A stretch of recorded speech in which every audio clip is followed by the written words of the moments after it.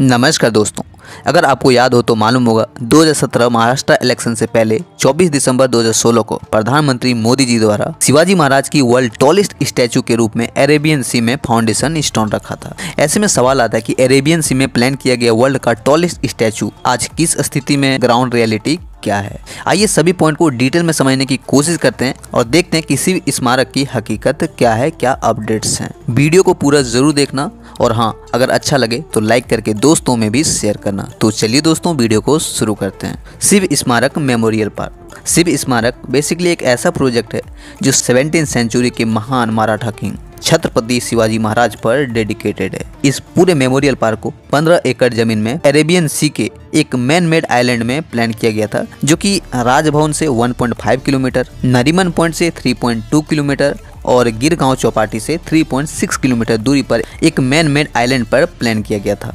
Detail में अगर बात करूँ तो पहली बार 1996 में गोरेगांव फ़िल्म सिटी में बीजेपी और शिवसेना अलायंस गवर्नमेंट के दौरान इस स्टैचू को विचार किया गया था। बट सिक्योरिटी कंसर्न की वजह से आर में शिफ्ट कर दिया गया। हालाँकि वहाँ पर भी इम्प्लीमेंट नहीं हो सकी और तकरीबन 2005 में अरेबियन सी में बनाने का आइडियाज़ आया। आइडियाज़ आने के बाद रिसर्च और स्टडी करने का काम किया जाने लगा, जो कि 2014 में फाइनली इसे अप्रूव कर दिया गया। और 2016 में प्रधानमंत्री मोदी जी द्वारा फाउंडेशन स्टोन रखा।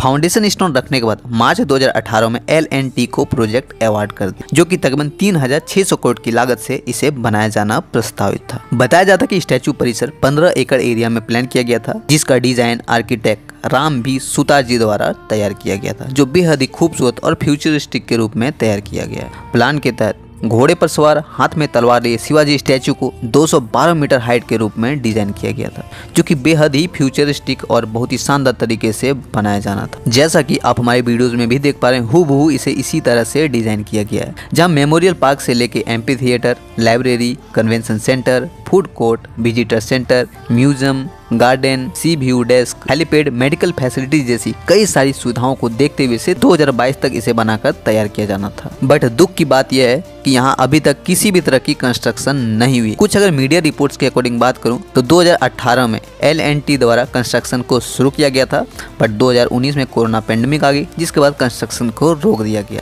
हालाँकि कुछ ऐसे भी आर्टिकल्स या ऐसे भी मीडिया रिपोर्ट्स हैं, जिसमें बताया गया है कि यहाँ पर किसी भी तरह की कंस्ट्रक्शन नहीं शुरू हुई है।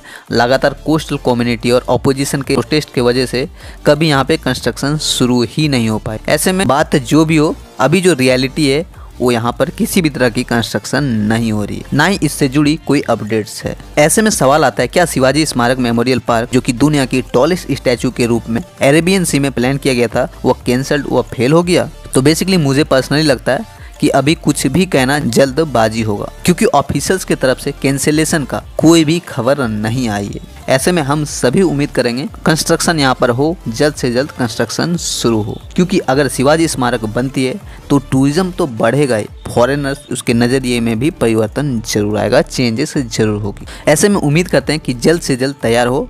फ़िलहाल इस वीडियो को यहीं एंड करते हैं। आपका इस पर क्या व्यू है? क्या लगता है? कभी बन पाएगा या बस पेपर और फाइलों में ही घूमता फिरेगा? मुझे पर्सनली लगता है कि 2017 इलेक्शन को देखते हुए इसे एक पॉलिटिकल स्टंट के रूप में 2016 में प्रोजेक्ट की शुरुआत की गई थी। आपका इस पर क्या व्यू है? आप हमारे कमेंट सेक्शन में ज़रूर बताएँ। फ़िलहाल वीडियो को एंड करते हैं। वीडियो कैसा लगा? इन्फॉर्मेटिव लगा तो लाइक करके चैनल को सब्सक्राइब कर लेना। जय दोस्तों।